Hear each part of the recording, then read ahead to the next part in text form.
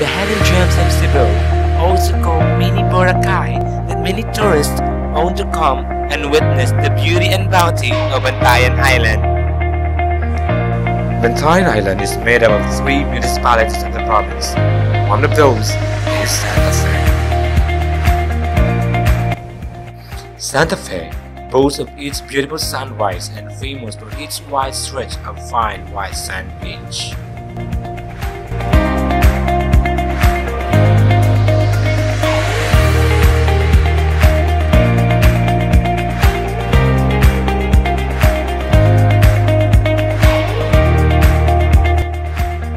Tricycle and motorbikes are the main mode of transportation around the island. The present-day world is marked by important discrepancies in the development of language and culture. The fact that there is language death and language survival, it is important to know the social changes affecting our language's choices. Language and culture are interrelated and inseparable phenomena.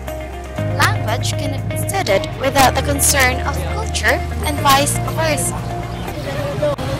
Ako si Pidjong, Pi- uh, Pidjong Ilboyna. Uh, nagpuyo, uh, nagpuyo ko din eh, mga kuha na katuig, 34 na katuig din eh sa Santa Fe. But wa dito sa lain mga subong sino mga kuan, mga puti nga bayon sunod kini mga mga talanaw, mga buhat danggit, Tang danggit, danggit, buraw, ano buraw, anduhaw. Anduhaw, Ah, anduhaw. Buraw, anduhaw, usara na siya. Kung dito sa Danggit, Danggit ya po sa siyudad. ya buburon.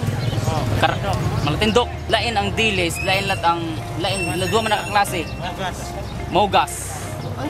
Gurayan, na gurayan tag naay bulinaw. Duha na siya.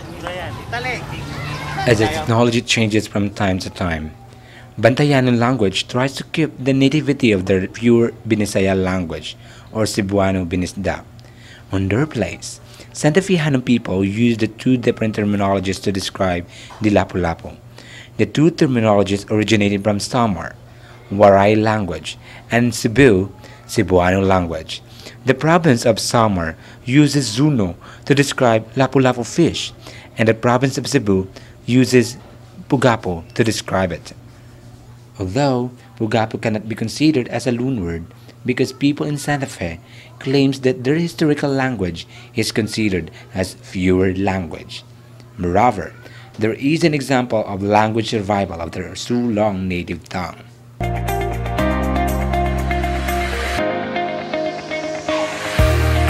Masabtan na mo ng inya istorya. Pero kamo dili kamo 5. A language must have a function. That the whole point of a language is enable communication. And the more universally we can communicate, the more dynamic our cultures will be. Kahapon? Kakyo. Ugma? Buwas. Buwas. Buwas. Ito ang sir.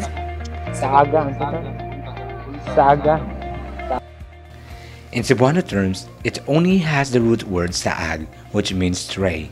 Moreover, if you add an affix on, on the root word, it will become saagan, which means in Binisaya dictionary, the word saagan remains its meaning, stray. But in Bantayanon terms, it means morning.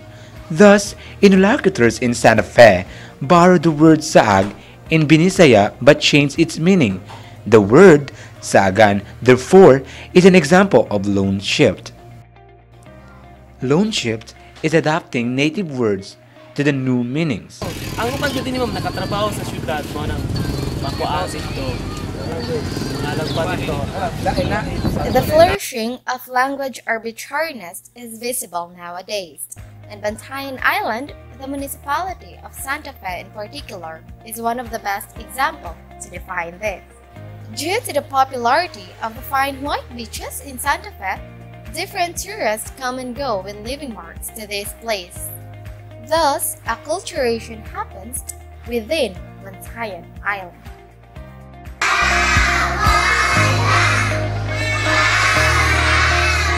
Bantayan Island was also colonized by Spanish endeavors for 333 years. Thus, without contradiction, Santa Fe Hanon also had some terminologies from Spanish. An example of this is the word cupido, which means sunglasses or shades. The word's etymology is from Quevedo, which also means the same in Santa Fe. Thus, this Quevedo word is an example of loan word. Loanword adaptations are an emergent phenomenon of language and content. Ako si G. Ingito. Dre ko gipanganak og ngayon akong edad. Once na mes, narelat ko gipanganak tag. Na ako edad. The Bantayan language is mostly a mixture of different neighboring Visayan languages. The principally native Cebuano from Cebu and Eastern Negros, and Hiligaynon from Western Negros and Iloilo, Buholano from Bohol, Masbateño from Masbate, and Waray Waray from Leyte and Samar. However, each municipality has its own distinct manner of uttering words and different terminologies. For example, Santa Fe Hanon described the tone of Bantayan language as lanay, which means not too slow but not too fast. It could also be called as an average tone, while the Santa Fe Hanon described their speaking speed as the same in Cebu City. Since the municipality of Santa Fe occupies the southeastern portion of Bantayan Island, the island's airport and principal ferry port are both located within the municipality which is considered the gateway to Bantayan and its islands. Thus, Santa Fe Hanon maintained their speaking speed as fast as Cebu City to entertain well the tourists. Although the island has different loanwords, it has its famous coined words which are Kapyop, yesterday, Sara, today, and Buwas, tomorrow. These words are only found and heard in Bantayan Island with three consecutive municipalities. Bantayan, the largest municipality covering the center part, Madridejos covering the northern portion, and Santa Fe covering the eastern portion.